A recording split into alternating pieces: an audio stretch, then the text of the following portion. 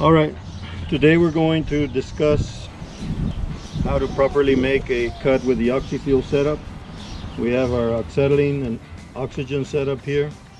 We're going to pressure up our cylinders and uh, make a few cuts. As I'm making the cut, I'll explain some details. First of all, we, like always, start by inspecting, making sure our hoses and our regulators are nice and snug. Our hoses are in good shape. We do that, we're fine, we're ready to go. We inspect our area. We make sure that there's nothing, there's nothing flammable around that could possibly catch on fire. Trash, paper, wood, even a jug of gasoline. We want to start by opening our main valve of our, our oxygen cylinder, a couple turns, and setting our pressures.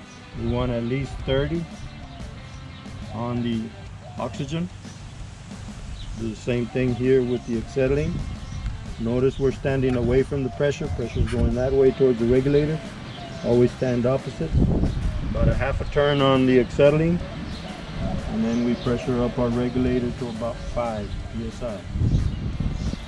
Depending on the thickness of metal they're cutting, if you were to cut one inch, two inch thick steel, we would pressure up our settings a little more. But for quarter inch, what we're doing here, 5 and 30 is plenty. Okay, we're pressure up. We pressured up. We're now we have gases all the way up to our torch. Our cutting attachment is attached. We're ready to go. We um, we want to secure the torch in, with both hands. I like to hold. I'm right-handed. I like to hold the torch and open the knobs with my left here, the acetylene, and then the oxygen.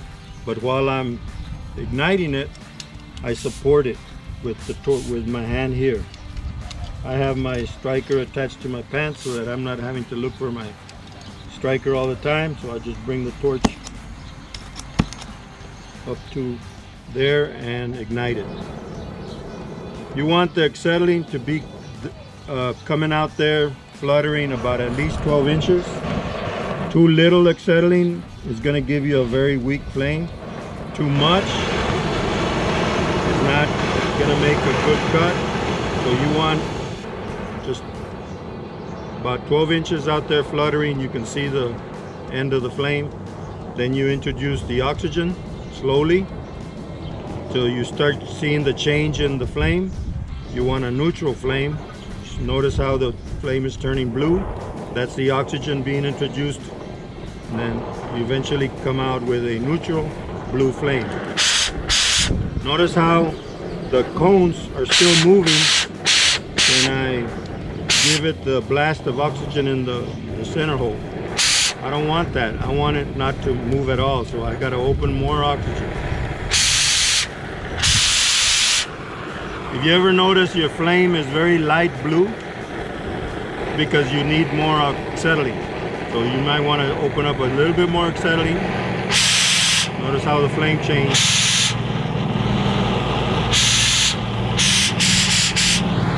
Should be good there. What we're gonna do is cut some straight cuts. The travel speed as I'm coming across is very important. If you go too slow, the kerf is going to be wide and the dross is just going to kind of fuse everything back together.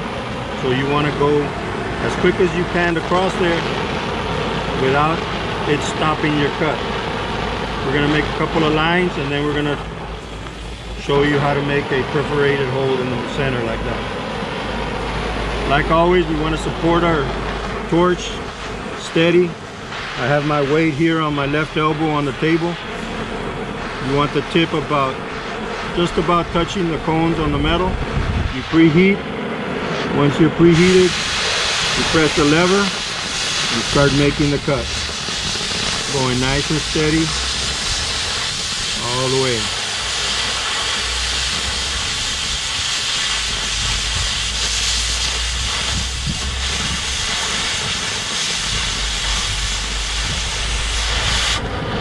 If the piece doesn't fall off, that doesn't mean it's a bad cut.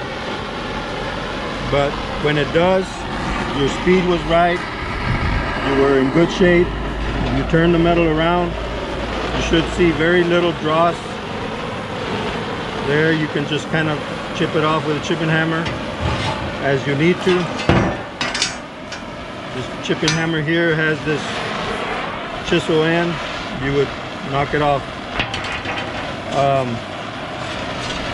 lots of times when we're fabricating and we need to cut, a lot of times they're straight cuts, but they also could be half circles on the corners. But notice how my hands are always steady. And able to make the cut. It's a lot harder when you're in the air right here trying to be steady to make a real steady cut. So here to, to make a circle, I like to start by basically drawing out a letter E, starting in the very middle. You gotta perforate, so you gotta make sure it's a little hotter, your preheat. Once you see it melting, then you slowly introduce the oxygen. Because if you don't, you're gonna make all that bubble up and shoot up into your face. So slowly start the cut by going like a letter E. You use your hand-to-eye coordination to follow.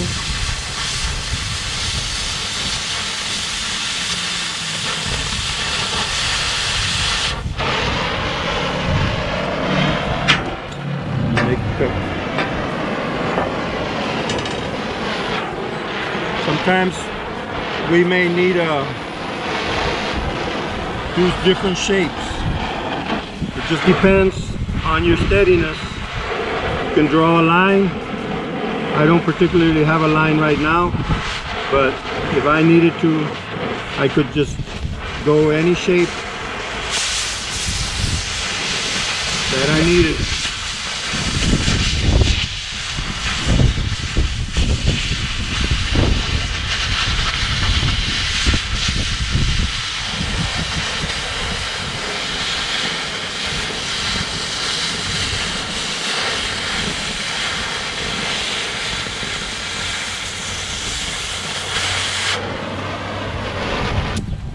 The dexterity that you have to be able to make the cut real steady.